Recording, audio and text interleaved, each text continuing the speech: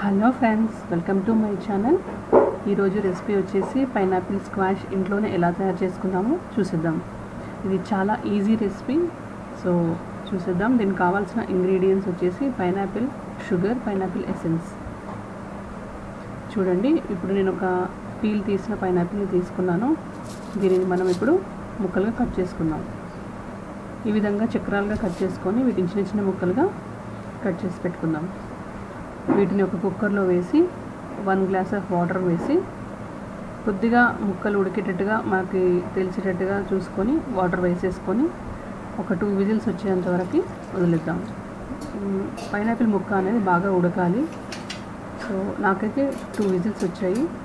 So మీ కుక్కర్ని బట్టి మీరు చూసుకోండి. టూ విజిల్స్ వచ్చాక ఇంకా ఉడికింది అని అనుకున్న తర్వాత తీసి చల్లారబెట్టాలి. చూడండి ఈ విధంగా ఉడకాలి. ముక్కలన్నీ సాఫ్ట్గా ఉడికిన తర్వాత వీటిని మనం స్ట్రెయిన్ చేసుకుందాము. చాలా వేడిగా ఉన్నాయి కాబట్టి ఇవి చల్లారాలి ముక్కలన్నీ. మనము వడబోసిన వాటర్ ఏదైతే ఉందో వాటిని పారపోయొద్దండి. నెక్స్ట్ ప్రాసెస్లో మనం వాటిని కూడా యూస్ చేసుకుందాం.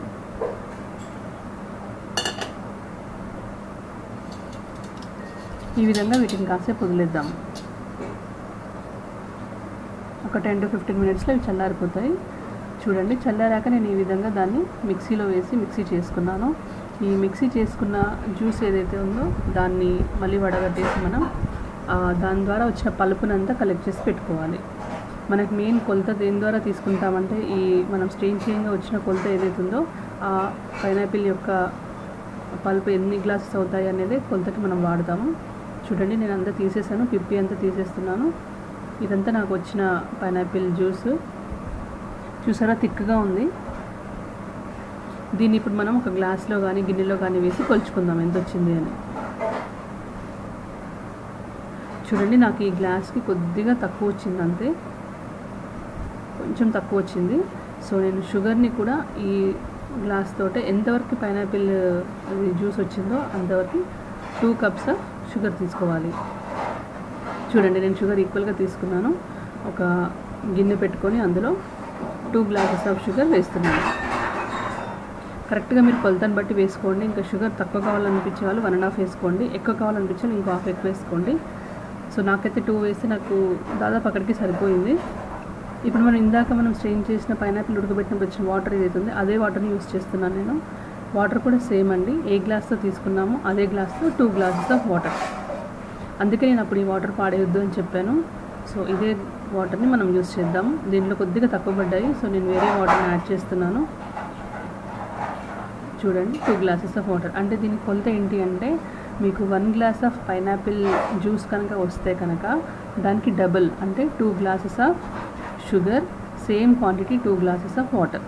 అంతేనండి చాలా చాలా ఈజీ రెసిపీ. మీరు ఇంట్లో ట్రై చేయండి. సమ్మర్ కాబట్టి పిల్లలు చాలా ఎంజాయ్ చేస్తారు.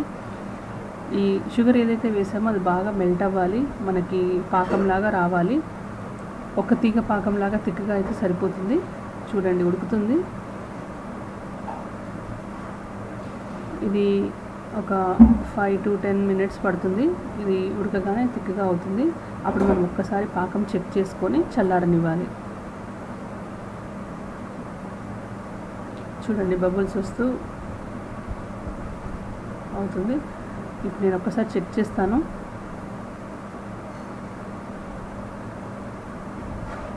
కొద్దిగా ఇలా మన వేలికి తీసుకొని మనం ఈ విధంగా అంటే జస్ట్ టచింగ్ లాగా ఇలా మనకి తీగలాగా రావాలి. ఇంకొద్దిగా వచ్చినా పర్వాలేదు బాగానే ఉంటుంది. ఇప్పుడు లైట్గా వస్తుంది ఇంకొద్దిగా తీగలాగా వచ్చినా పర్వాలేదు. కాకపోతే నేను ఆఫ్ చేస్తున్నాను. ఒకవేళ మీకు షుగర్ కనుక చల్లారాక గడ్డ కడుతుంది అని ఏమైనా అనిపిస్తే మీరు అందులో నిమ్మకాయ పిండుకోవచ్చు. చూడండి దీన్ని చల్లారబెట్టాను పక్క నుంచి.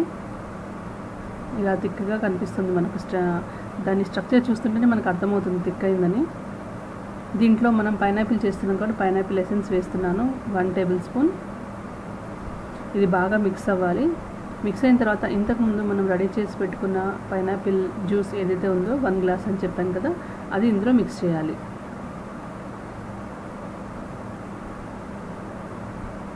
చూడండి. దీన్ని బాగా మిక్స్ అయ్యేటట్టుగా కలపాలి. జ్యూసు ప్లస్ మనం చేసిన పాకం ఏదైతే ఉందో రెండు కలిసిపోవాలి.